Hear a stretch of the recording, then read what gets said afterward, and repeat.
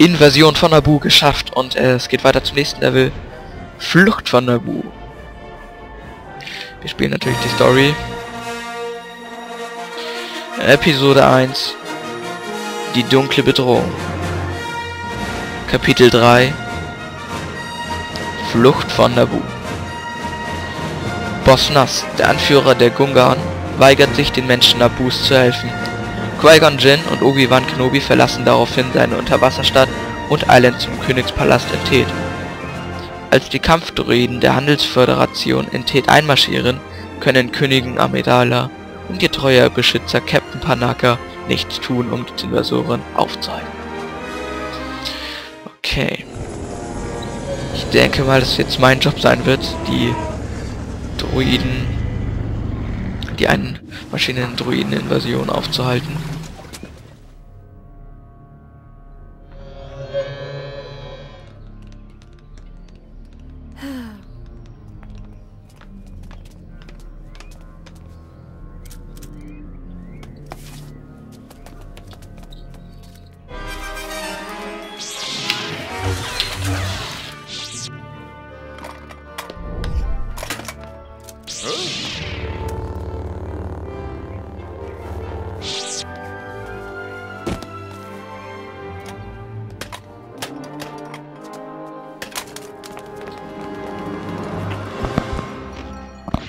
So.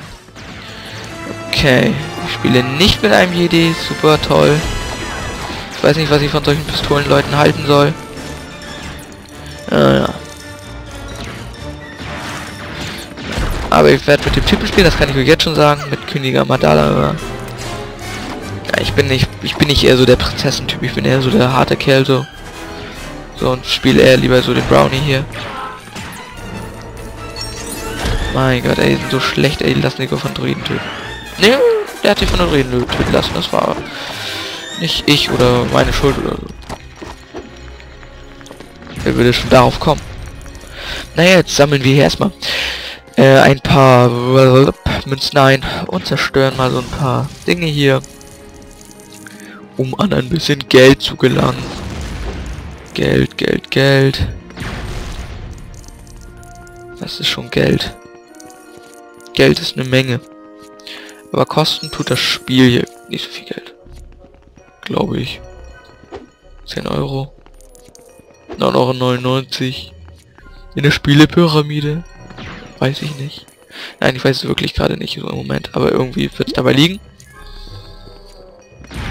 Ist ja nicht mehr so das aktuellste. Ist ja schon ein paar Jährchen alt. Ähm. Jetzt zu Harry Lego Harry Potter 2 oder so. Das kostet immer noch 30 Euro. Oder Lego Batman 2, DC Heroes. Und ja. Angespielt äh, oder gespielt hatte ich erst noch Lego Harry Potter 1. Harry Potter 2 habe ich noch nicht gespielt.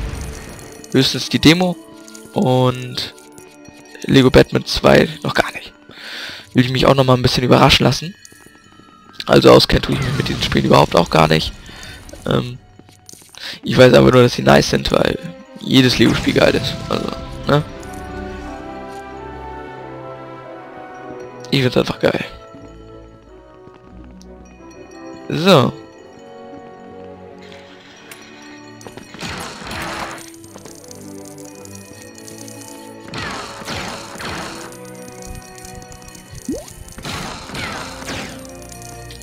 Und wir schießen Zäune ab. Das ist die normale Härte. Man hat ja auch sonst nichts anderes vor, als Zäune abzuschießen. Der Palast wird von Druiden angegriffen. Es werden es marschieren Druiden ins ganze Schloss ein. Die Königin war kurz davor, entführt zu werden oder die Prinzessin, wie auch immer. Ähm, ja, Königin. Ähm, und hier Meister Captain Panaka hat nichts besseres vor, als Zäune abzuschießen und daraus Münzen einzusammeln. Äh, ja, das ist normal. Aber davon ab, äh, Captain Pakaka Laka Fakada Kakapaka hat's geschafft. Er hat alle Zäune abgeschossen. Das ist absolut awesome. Denn jetzt hat er ungefähr wow, 3000 Münzen mehr. Nein, okay. Hör auf mit dem Scheiß. Jetzt werden Fensterscheiben eingeschossen. Ist ja nicht so, dass es unser eigenes Schloss ist oder so. Ähm, naja, wie so ist, ne? Wie es nur ist. Alles, was aus Legos kann zerstört werden. Ob es mir gehört oder ob es äh, meinen Gegnern gehört, das interessiert im Augenblick nicht. Ja, ja, ja. So, den kann man anzaubern. Jedis haben wir hier nicht, also können wir auch nicht zaubern. Oh. Oh. Das war ein ganz harter Druide, du. Der kann, der, der, der kann sogar zwei Schläge, sogar zwei Schläge abwehren. So. Ich hoffe mal, dass nach diesen Druiden auch mal wirklich irgendwann auch mal anspruchsvollere Gegner kommen. Ja, nichts gegen euch Druiden, ihr seid richtig stark und so. Ja, ich habe kaum Chance gegen euch, aber etwas anspruchsvolleres wäre doch nicht zu viel verlangt. So.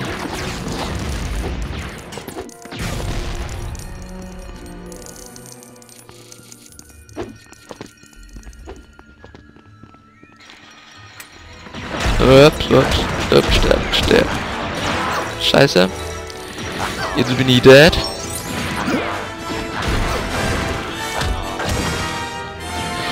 Jetzt apropos dead. That's dead. Keine That's dead. That's dead ist ein ganz nicer äh, Musikkünstler. Ich höre ihn gerne so. Also ich wurde auf ihn aufmerksam durch ähm, Ice on Fire von Blue Foundation. Könnt ihr gerne mal reinhören. Das ist so geil, das Lied, ohne Scheiß. Hm. Und seitdem habe ich auch mal Spotify und so weiter mal ihn eingegeben und so. Das ist echt ganz geile Musik, finde ich.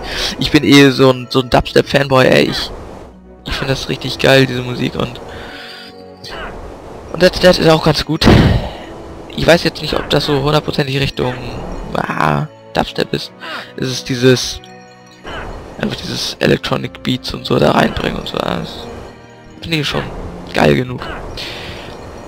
Da sind wir beim Thema Dead. That's Dead. So. Das machen wir auch nochmal. Wir schieben die ganzen Kisten da mal rein.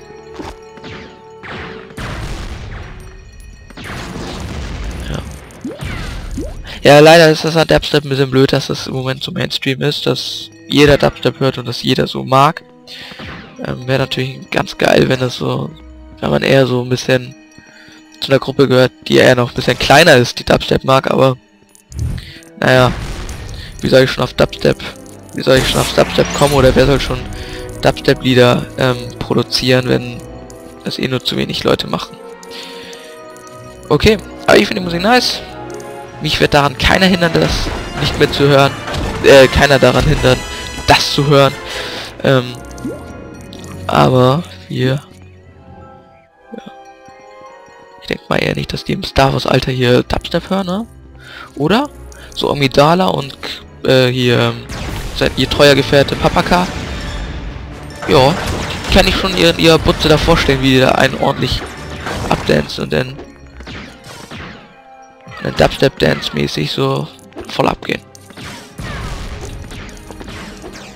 Ui, so, zerstören wir die Scheibchen. Kaputt mit euch. Ähm, eher so der Nervkrampf, finde ich, so die ganzen Scheiben zu stören. Ja, das rege ich mich darüber auf. Ich mache sehr freiwillig. Keiner zwingt mich dazu, das zu zerstören. Na, aber Kritiken kann man ja abgeben. Ich will ja eben auch die Münzen haben, ne? Oh.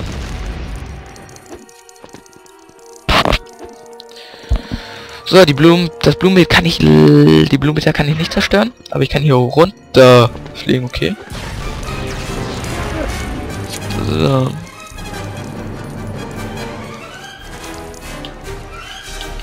Wie? Putz. Putz, putz, putz. So. Ja, Leute. Ganz nice am heutigen Tag ist auch, abgesehen von meinem neuen, geilen Lego Star Wars 3 Let's Play, das heute wieder die Bundesliga begonnen hat. Die 50. Saison. Also heute ist Samstag, heute haben die schon gespielt. Und mein Lieblingsverein, der HSV. Naja, was heißt Lieblingsverein? Ah, was heißt Lieblingsverein? Also es ist, ist schon so ein Gurkenverein, ne? Was meint ihr? Wir sind Gurkenverein. Muss ich leider sagen. Also die kriegen nichts zustande gegen Karlsruhe. 4-2 verloren, DFB-Pokal, jetzt gegen Nürnberg 1-0 verloren. Also meiner Tipprunde weiß ich echt nicht immer nicht, was ich so machen soll. Ja, ich bin Hamburg-Fan, ich tippe ungern gegen HSV, aber das muss ich leider des Öfteren noch machen. Und selbst bei Nürnberg war ich stark am Zweifeln, so, ich kenne sie, Auftakt und so. Ähm, ich weiß gerade gar nicht, wie das immer war. Haben sie am Anfang, waren die haben die da immer so verkackt oder haben die immer so gut abgeschnitten? Es gab beim HSV immer so eine Zeit so immer richtig gut, dann wieder richtig schlecht und so weiter. Ähm, weiß ich gerade nicht ganz genau, ob das äh, Anfang der Saison war. Nee, am Anfang verkackt und am Ende sind sie immer noch mal, haben sie was gerettet. Ich erinnere mich. Gibt Stevens zum Beispiel. Ähm, Martin Joll. Die, die am Ende der Saison, ja, Trainer weg. Trainer weg. Ja, und dann, dann kommt, die, äh, kommt der neue Trainer und dann geht das für die Hamburger wieder nach oben. Ähm, sogar UI Cup noch gerettet und so weiter. Wollen wir hoffen, dass es die Saison ein bisschen besser wird. Hat Thorsten Fink ja auch schon angekündigt. Aber da bleibe ich eher pessimistisch, weil auch in meiner Tipprunde, wo findet der erste Trainerwechsel statt? Da habe ich eiskalt Hamburger SV getippt. Na, was muss, das muss. So. So, hoffentlich die, die Fußball nicht interessiert haben, das Video hat nicht weggeschaltet. Ich rede jetzt über nicht mehr über Fußball. Ich kann über andere Sportarten reden. Gleichberechtigung.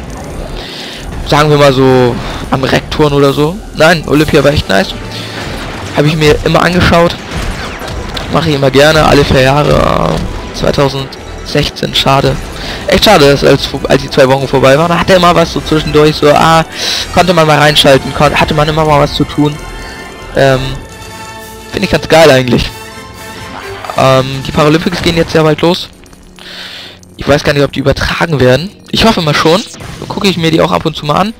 Ich finde es einfach interessant, immer Sport laufen zu haben und irgendwo Deutschland dabei ist, irgendwas zu haben, wofür man ist und auch die wirklich was reißen. Im Gegensatz zum gerade eben angesprochenen Hamburger Sportverein. Ja. Die Deutschen, aber ah, Olympische Spiele. Puh, Leute, Leute, Leute. Was war das am Ende? Platz 6, glaube ich. Ah, mögen wir nicht drüber reden. Also es fand viele Silber- und Bronzemedaillen. Das war wirklich, wirklich bitter. Immer, immer ganz knapp an der Goldmedaille vorbeirutscht.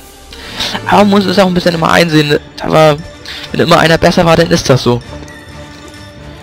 Äh, ganz geil fand ich Robert Hartinger nach dem Diskus werfen. Sein Jubel, wie er über die Hürden stürzt, also. Aber so Höhepunkte und geile Szenen zwischendurch gibt es dann auch mal. Ähm, aber wieder im letzten Wurf, ganz knapp. So, weg vom Sport. Wieder zu Lego Star Wars. Naja, ist ja auch Sport hier. Guck mal, wie er läuft hier. Zack, zack. Und da macht die Druiden platt. Ähm, ja. Die Zäune kann ich nicht abschießen. Die sind krass verzaubert. Die haben sind sogar sind so turbobläulich so. Mhm. Und ah, souverän. War da oben noch irgendwas? War da noch irgendwas? Ja. Nein, da komme ich nicht hin. Da komme ich leider nicht. Ja, komm. Oh mein Gott, mein Gott. Ah, er hat es fast geschafft. Jetzt. Batz, batz. Ähm. Batz, batz. Nein. Oh.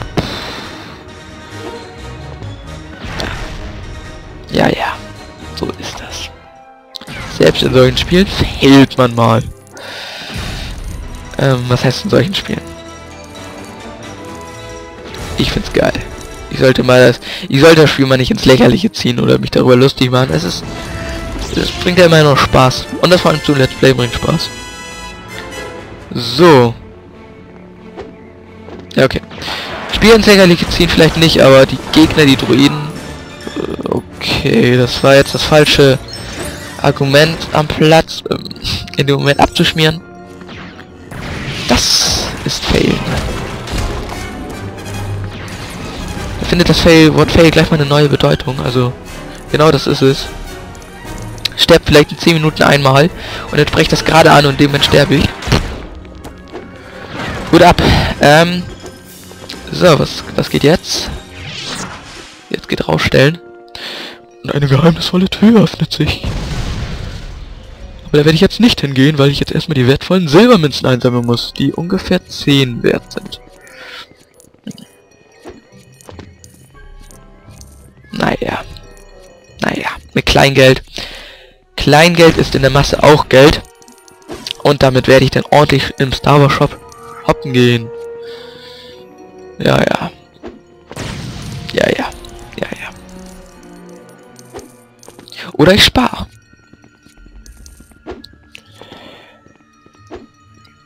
Hm. Oder ich lege ein Girokonto an. Bei der Starbank. Mhm.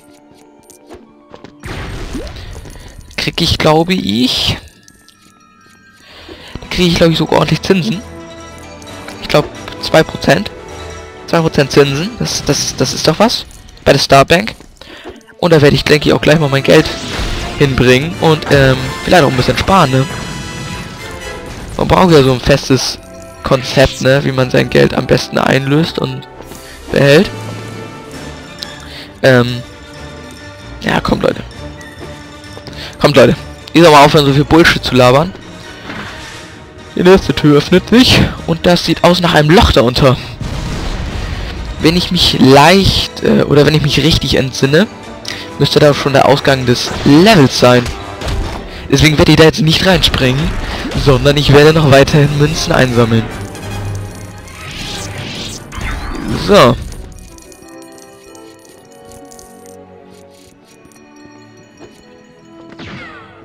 Woods und mal wieder ein paar blaue Münzen einsammeln. Die tun immer gut, die Dinger. Ähm. Die auch. Und der ebenfalls. Die auch. Und die auch. Die auch, die auch, die auch. Und der. Und der. So. Leute. Silber, Silber, Silber, Silber, Silber, Silber, Silber, Silber, Gold, Gold. Ah, so, jetzt kommt auch noch ein Minikit zum Vorschein. Und hier haben wir noch einen Busch, den wir zerstören können. Ja, spielt die Realistik auch immer eine Rolle, ne? Wer zerstört nicht gerne Büsche in seiner Freizeit? Ja. Macht ihr, das meint ihr, macht ihr doch auch gerne, oder? Mit einer Pistole rumlaufen und die Büsche abknallen, oder? Aber am geilsten ist es ja auch, wie sie dann explodieren. Normale Härte. So, Brownie. Jetzt ziehen wir mal ein bisschen Amida. Wir haben Jedis? Scheiße, Mann, wo kommen die denn her? Ach, die haben wir ja getroffen. Oh mein Gott, ey. Alter, bin ich schlecht. Ihr will auf die ganze Zeit mit Jedis rum. Ich laufe mit so einem verkackten äh, Pistol-Typen rum. Och, Leute. Tut mir das nicht an. Mit so einem hässlichen Brownie da oder Amidala oder wie sie alle heißen da. Ist doch alles das gleiche Pack da. Ganzen rassistischen Menschen da. Ach komm. Soll ich jetzt zurücklaufen hier oder was? Um irgendwas einzuwärmen, was man mit dem Pistolmann nicht machen kann. Nee, brauchen wir nicht. Brauchen wir nicht, weil wir das Freispiel sowieso noch spielen müssen. So, ich frage mich jetzt gerade, warum das jetzt hier so... Ah, da oben ist also ein Mini-Kit. Aber ich möchte jetzt nicht das Ganze ins Negative reißen und ein bisschen die Hoffnung verlieren, aber ich glaube, ich werde da nicht rausspringen können. Weil man da einen ganz hohen Springer für braucht. Er macht es, aber höher kommt er auch nicht. Eine totale Lusche. Schmeiß ihn in die Mülltonne. Der hat sowieso nichts drauf. Oh, und Eisending, die kriege ich auch nicht zerstört. Keine Ahnung, was ich da machen muss. Und rein in eine gute Stube und eine neue Story-Frequenz.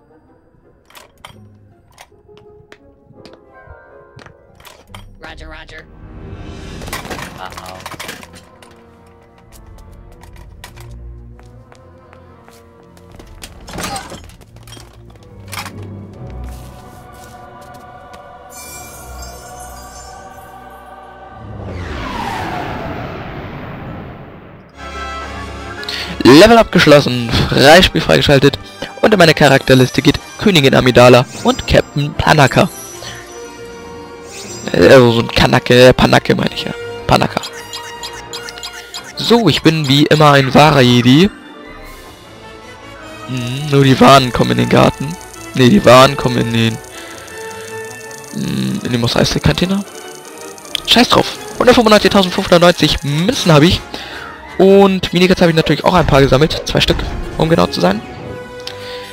Und Goldenstein habe ich jetzt sechs. So, kein kleiner großer Schnickschnack drumherum. Story fortsetzen.